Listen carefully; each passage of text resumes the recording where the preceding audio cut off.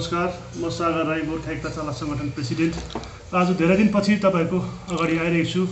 आउनुको मुख्य कारण चाहिँ के हो भने हिजो मात्र दुई तारिक जुनको दिन तपाईँहरूको माध्यम अथवा सोसियल मिडियाबाट हाम हामीलाई जान्नमा आयो सुन्नमा आयो। त्यो के भने जुन अहिले जिटिए चुनाव लिएर हाइकोर्टको माननीय हाइकोर्ट कलकत्ताले एउटा सुनवाई गर्नुभयो। त्यसको निम्ति त्यसलाई त्यहाँसम्म पुर्याउनुको निम्ति गोर्खा राष्ट्र मुक्ति मोर्चाको केन्द्रीय अध्यक्षलाई सम्पूर्ण गोर्खा एकता चालक सङ्गठनको तर्फबाट धेरै धेरै धन्यवाद दिन चाहन्छु। किनभने जिटिए चुनाव हामीले किन विरोध गरेको हामी किन मान्दैनौँ भन्दा म जस्तो एउटा कम्ती शिक्षा भएको मान्छेलाई त जिटिए चुनाव जिटिएबारे हामी मलाई कस्तो लाग्छ भने ती तमाम शिक्षित व्यक्तिहरूलाई कस्तो लाग्छ होला? तर तिनीहरू विवश छ बिचराहरू के गर्नु? रिमोट कन्ट्रोल सबै कलकत्ताको हातमा छ। जिटिए व्यवस्था यस्तो व्यवस्था हो जुन व्यवस्थामा जत्तिकै इमान्दार नेता पनि त्यो कुर्सीमा बस्यो भने केही काम गर्नु सक्दैन। त्यो व्यवस्था नै त्यस्तै हो लथालिङ्गै भएर जान्छ। किनभने यो एउटा आम जान दार्जिलिङको दार्जिलिङ पहाड तराई डुवर्सको जनताले नकारेको एउटा व्यवस्था हो। जत्तिकै इमान्दार जत्तिकै शिक्षित व्यक्ति त्यो कुर्सीमा बसे पनि यो व्यवस्था नै त्यस्तो हो। र त्यो हामीले किन विरोध गरेको भन्दाखेरि हेर्नुहोस् तपाईँलाई म एउटा सानो नमुना देखाउन चा- चाहन्छु पेसामा एउटा चालक हो एउटा ड्राइभर हो। जतिको हामीलाई दुःख छ हामीलाई चालकहरूलाई जतिको एउटा प्रशासनको तर्फबाट हेरेसमेन्ट छ।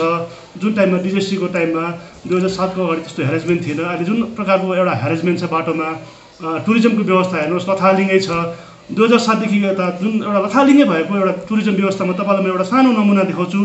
जुन चाहिँ एउटा दार्जिलिङको टुरिज्मको एउटा केन्द्रबिन्दु टुरिज्मको एउटा पर्यटक एउटा केन्द्रबिन्दु हो जो टाइगर हिल विश्व प्रसिद्ध हो।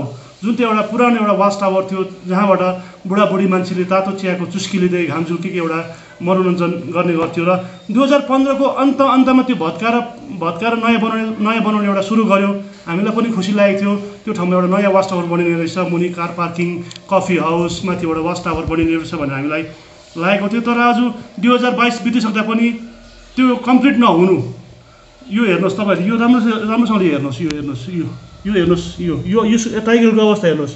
तपाईँहरू पनि कुनै दिन एकपल्ट गएर तपाईँहरूले तपाईँहरूले पनि कुनै दिन एकपल्ट गएर तपाईँहरूले पनि खिचिदिनुहोस् यो हेर्नुहोस्। यो दुई हजार पन्ध्रको अन्तिमतिर भत्काएर बनाएको। हामी मान्छौँ दुई हजार सत्रमा तिन महिना स्ट्राइक भयो। काम बन्द भयो हामी मान्छौँ। दुई हजार बिसमा एक महिना दुई महिना लकडाउन भयो हामी मान्छौँ। तर सात वर्षको अवधिभित्रमा छ वर्ष कम्प्लिटली कन्ट्र्याक्टरले टाइम पाएको हो जिटिएले टाइम पाएको हो त्यसलाई कम्प्लिट गर्नु लागि। अझै पनि कम्प्लिट गर्नु सकेको छैन। कारण किन? हामीलाई लाग्छ जिटिएमा कुनै न कुनै कतै न कतै ठुलो घोटाला भएको छ अथवा यो टोटली फेलियर भएको हामी महसुस गर्छौँ। यस्तो त एउटा हाम्रो आँखाको अगाडि परेको एउटा नमुना मात्र हो। यस्तो त धेरैभन्दा धेरै छ। रगनको अवस्था हेर्नुहोस्। दुई हजार नौमा आइला साइक्लोन आएर त्यो भत्किएको रगनको अवस्था हेर्नुहोस्। कस्तो डाबाडोल छ। त्यहाँ गएर आज टुरिस्ट गयो भने भोलिपल्ट जाँदैन। नेक्स्ट टाइममा त्यसको मान्छे पनि आउँदैन। गङ्गामाया पार्कको अवस्था हेर्नुहोस्। डेलोको अवस्था हेर्नुहोस्। डेलो कति सुन्दर जग्गा थियो कालिम्पोङको कति सुन्दर जग्गा थियो। त्यो अवस्था हेर्नुहोस्। जोरपोखरीको अवस्था हेर्नुहोस्। यस्तो त धेरैभन्दा धेरै। आज इन्द्रेणी फल्स यस्तो राम्रो जग्गा छ इन्द्रेणी फल्स सोनादेवी मुनि यस्तो राम्रो जग्गा छ। त्यसको बाटोको अवस्था हेर्नुहोस्। यस्तो नराम्रो भएर गएको छ। यो सबै जिटिए फेलियर भएको कारणले गर्दा हामीलाई लागेको छ र हामीले गोर्खा चालक सङ्गठनको तर्फ तर्फबाट सम्पूर्ण टोलीले यो जिटिएको इलेक्सन हुनु हुँदैन। जिटिएले कुनै पनि मानिसको एसपिरेसन पुरा गर्दैन र हामी यसलाई घोरभन्दा घोर विरोध गर्छौँ। आशा पनि छ भरोसा पनि छ। हामी भगवान्लाई प्रार्थना पनि गर्छौँ। एक्काइसको जुन सुनवाई छ त्यो सत्यको जित हुन्छ भनेर हामीलाई लागेको छ। यसको निम्ति जोड जोडसँगले कसरत गर्नु भएर परिश्रम गर्नु भएर यहाँसम्म पुर्याउनुको निम्ति गोर्खा राष्ट्र मुक्ति मोर्चा पूर्व अध्यक्ष श्रीमान स्वर्गीय सुभाष घिसिङज्यू अनि वर्तमान गोर्खा राष्ट्र मुक्ति मोर्चा अध्यक्ष मोहन घिसिङलाई सम्पूर्ण टोलीबाट धेरैभन्दा धेरै धन्यवाद दिन चाहन्छु। अनि उहाँलाई हामी आश्वासन पनि गर्न चाहन्छौँ कि अध्यक्ष महोदय सत्यको जित निश्चित छ। तपाईँ ढुक्कै बस्नु सत्यको निस् जित निश्चित छ। जनताको मुखबाट हामी यही सुन्छौँ। किनभने हामी चौबिस घन्टामा अठार घन्टा फिल्डमा हुन्छौँ र फिल्डको मान्छेको एउटा हामी कमेन्ट पनि सुन्छौँ।